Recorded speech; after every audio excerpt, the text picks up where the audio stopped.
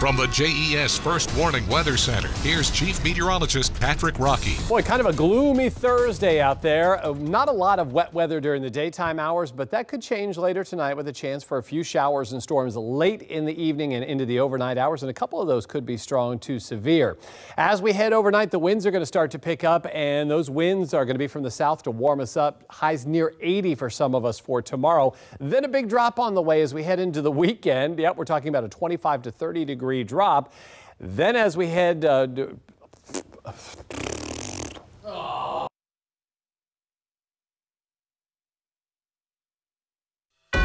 From the JES First Warning Weather Center, here's Chief Meteorologist Patrick Rockey. Boy, it's been kind of a gloomy day for us. Cool with lots of clouds around. Well, that, that changes as we head into your Friday. It's going to be warm and windy with high temperatures near the 80 degree mark. Then a big drop on the way. As a matter of fact, a couple of big drops on the way. It's going to get much cooler, about 25 to 30 degrees cooler on Saturday. And then again on Monday, we're going to have a big drop in temperatures.